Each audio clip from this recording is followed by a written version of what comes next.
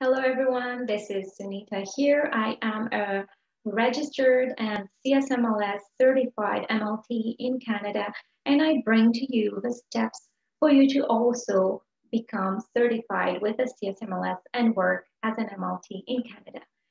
This today's video will be a little bit about the costing, the minimum uh, amount of money that you actually need to start this PLA process and also a little bit about the documentation that um, is required to start the PLA prior learning assessment process with the CSMLS. What the PLA is, is um, a process for you to uh, evaluate your education, which was done outside of Canada, and see how you can become eligible for the Canadian Society Medical Laboratory Science uh, exam. And also, this will be a series of videos that I will be making and therefore just stay tuned and hopefully this will help you along the way. So right now, I have made um, concise checklist for you to um, go like a roadmap to go around this process. But before I start with that, I just want to thank everyone that has watched my video and has reached out to me. I am so grateful. I love the comments. I love the suggestions. And um, hopefully this will really uh, help people along the way to uh, become certified. And any questions that are not answered in my videos and uh, really reach out to CSMLS. They are a great organization, very understanding, and they can uh, be very helpful. They have helped me along the way. They can really um, help you with time constraints and any suggestion for your particular situation that uh, you might, uh, any doubts that you might be having. So let's dive in our checklist for today. So here I made a checklist for you. We will not be going through all the different steps. I have um, 15 steps with a different um, costing. Um, let me share this, um, this uh, slide, this document with you here. All right. So share, here you are. Okay. So now you should be seeing this 15 steps checklist that I have made. Um, it shows you a bit different. It's like a roadmap to go through this. Um, uh, this PLA process is, is process. It shows you some of the costings at the different points in time. There you go. Um, I can link that one um, for you to download so, but the first step here that I have is to for you to actually go on CSMLS website, the csmls.org, and read about the PLA process. So how you do that is to go, uh, let me share this one with you, to go here. I'll share you, there you go. This is a CSMLS website, you are, and go there, go into certification and go to first steps to certification. And you will find these information. You have probably already read through that if you're watching my video, but if you haven't, just do it. And go down a little bit and go to this first steps to certification. There are these four steps. It looks simple, but they can be, um, they can take you what, uh, a little bit of time if you're not focused. So we'll click on get started here. Yes, get started. And click on the first step, which is all about reading the PLA process, which I've already mentioned. So we'll click on that and make sure you download the MLT PLA handbook. And don't confuse it with the MLA uh, handbook, which is also found on this website. Make sure you have the right one, which is for MLTs. So we'll click on it right now. Here you are. This is around a 35 pages handbook, but this is everything you need to know about the PLA process, everything you need to know about how the exams are and what is expected of you, anything you need to know about documentation, which is on page 17. I'll go right there right now. page 17, here you go, is um, this will answer uh, the questions that I've been having about what documents do you need. So this is a required documentation checklist. So you can go through it, but we will not um, dive in this right now because there are a few different steps that you need to know before you start actually gathering documents. Because before gathering documents, you need to have a place for these documents to go if you start going to universities, going to uh, different places to gather documents, you cannot take these documents home, keep them, and then waiting for the right time to send them to CSMLS. You actually have to wait until you open an account with CSMLS and have a CSMLS ID before you start collecting documents because these documents need to be sent directly from your universities or from your credential evaluation body directly to CSMLS. So you will not be keeping any documents yourself. First, let's go through the other steps that you uh, need to do before we get to that documentation checklist. So you can print this checklist, which is on page 17 as a guideline. I want you to print that. You will also need to print um, num page number 23, which is Appendix 1. This is your actual PLA application form, which you will be needing to fill to open an account with CSMLS. I want you to print that, but we are not there yet. First, there's a few different steps which we need to go through before actually starting to fill any form. There's a little bit of preparation that you need to do. So let me share, go back to this checklist that we have here. All right, there we go. So now that you've um, downloaded the handbook, you've printed uh, your required document checklist, you've printed your um, appendix one, which is your application for the PLA. You can put that on the side now, the next thing I want you to do is to actually apply to become a CSM, CSMLS member. What that is, this step here will actually help you all throughout your PLA process to save you some money by getting um, membership rates.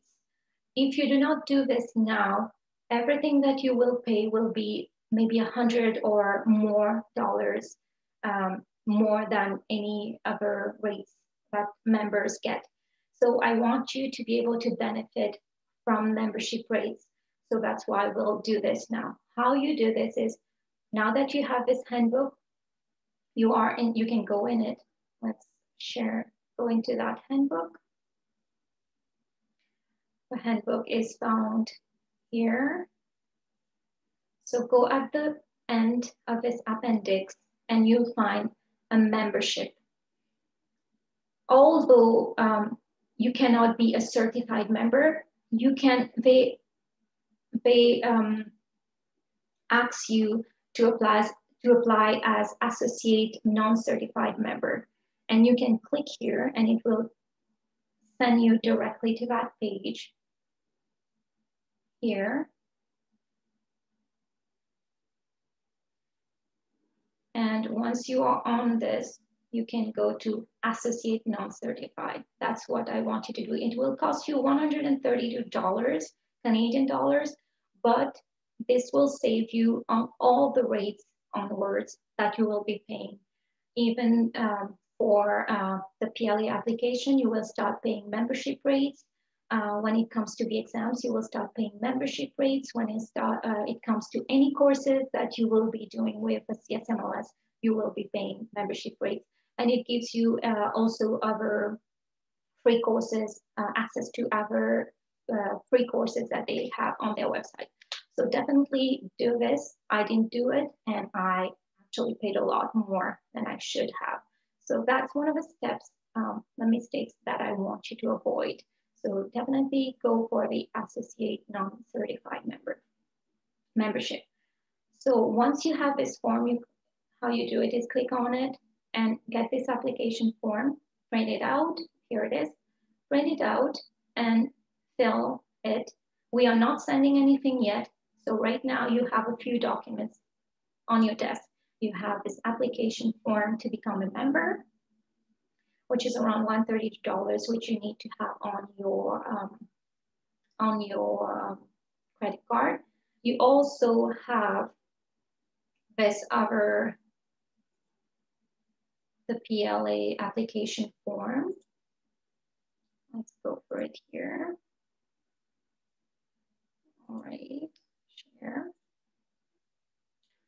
Let's go back to this PLA application form. To here it is. So you have your PLA application form. And on this one, you will have, I want you to review the costing that you need to actually start the process. So here you are, what I was telling you about uh, the different fees. If you are a member, to start this process, you will need $820 along with your um, PLA application. But if you're a non-member, it will cost you 875. So that's why I want you to become a member now. And later on, you will see how this will save you. All right. Since we are talking about costing, let's bring you to, to this screen here, where you will need, um, this will be a little bit about the costing that you actually need to start the process. Make sure you have uh, a little bit more than a thousand dollars before you actually start sending anything. So you need this $820 to open your file with CSMLS, which means it has to go along with that PLA application form in Appendix 1. You need that $130 to become a CSMLS member, and you need a $59.95 for the online self-assessment, which is 100 questions that they ask you to do, and uh, they ask proof by asking you your username so that they can review your test score. And this will be also uh, a part of how they review um, your uh, situation as an MLT, your education. Um, it will be part of your review. So don't forget that this amount goes to around a thousand, but don't forget that you need a little bit more than that because this is excluding taxes. So always um, have a little bit more than a thousand so that you can start this process. Now we'll go back to our checklist here.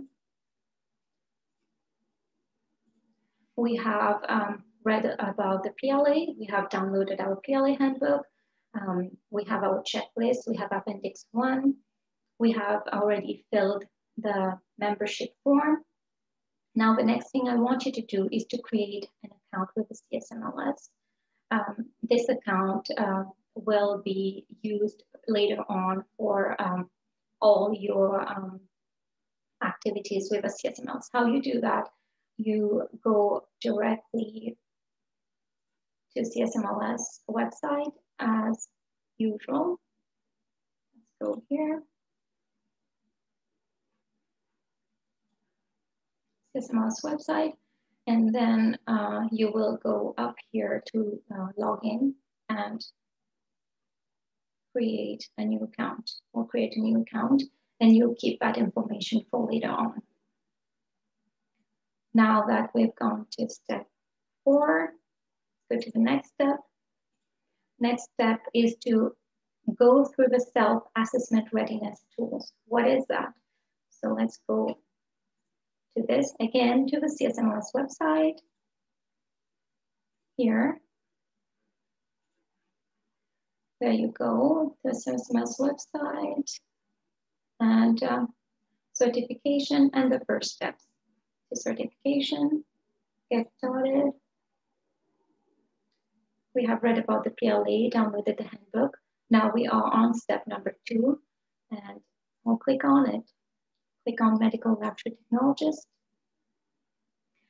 This self-assessment readiness tool is actually a seven um, steps that they want you to do before you actually start the process. this is so that uh, to make sure that you actually want to do this. This is lengthy, this is expensive, and we don't want to waste your time and your money. So what you want to do is actually go through it. Go through it and see, do I really want to do this? So we'll click on it. The first step is pretty easy. I would actually do this um, probably on a weekend and you should be done uh, if you focus on it. So you can read about understanding medical laboratory science. This is kind of a live reading. I'm pretty sure that if you are watching this video, you probably have gone through a lot of readings about here is part one or part four about living and working in Canada. So these uh, steps are pretty easy. You could just go through it. If you have already read so much stuff about it, you could just browse through it. But the second part here is about rating your skills. It's like a 14 questions um, that they ask you to do. It's just a self-evaluation asking you to see, oh, where, where are you at, in, in terms of general laboratory practice? What are you at in terms of safe work practices? Uh, uh, do, are you able to perform these practices independently? Do you need supervision or are you still um, learn, learning from it? They want you to evaluate yourself here where one will be you have no experience and four would be you can perform them independently. I'm pretty sure if you are still studying, obviously you won't be able to start the PLA process. But if you have gone through clinical practice already and passed, um, and you would probably be at number three.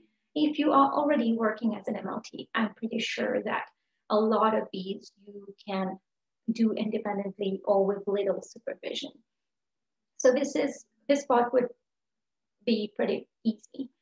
So now let's go to part number three. Number three tells you a little bit about the purpose of registration and um, the role of the Canadian Society for Medical Laboratory Science.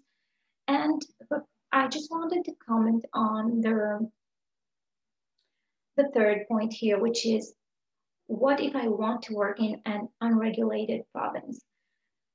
What I do know is that although we have some provinces where there's no regulation about uh, needing certification or uh, registration to work as MLT, I also do know that those employers require um, the requirement is that you need to be a member with CSMLS for you to get a job with them. So in the end, there is no way around it. You have to go through the CSMLS certification to get a job even in the unregulated provinces. All right, now part four is about a little bit of reading about living and working in Canada, which you can browse through or read. Um, part five is a typical work day in Canada that give you some examples of immigrants that are actually working. Uh, bear in mind also that these experiences will be different depending on provinces. And so do not be overwhelmed. Uh, uh, it's just to show you that you can, people have actually achieved this and so do you.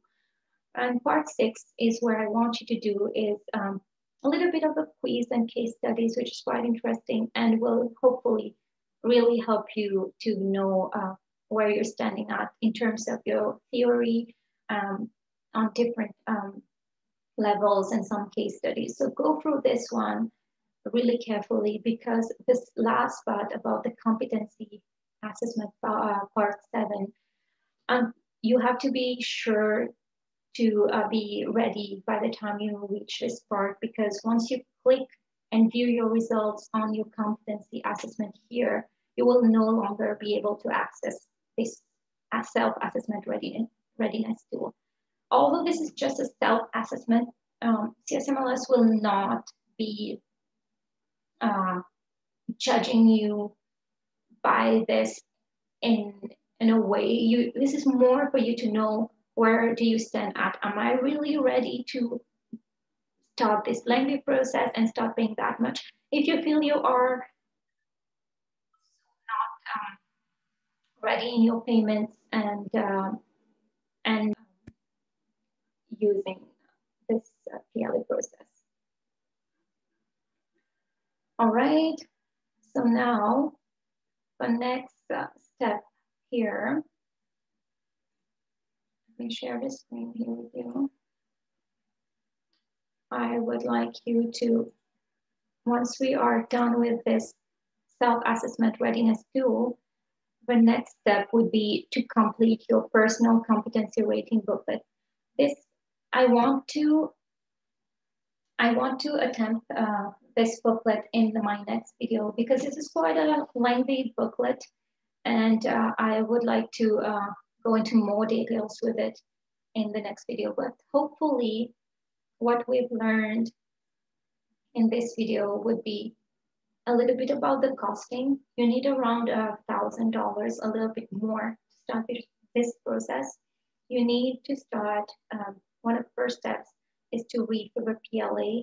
You need to download the PLA handbook, print the check required documents checklist, print the PLA application, make sure you have that enough uh, money on your uh, credit card so that you can pay the fees.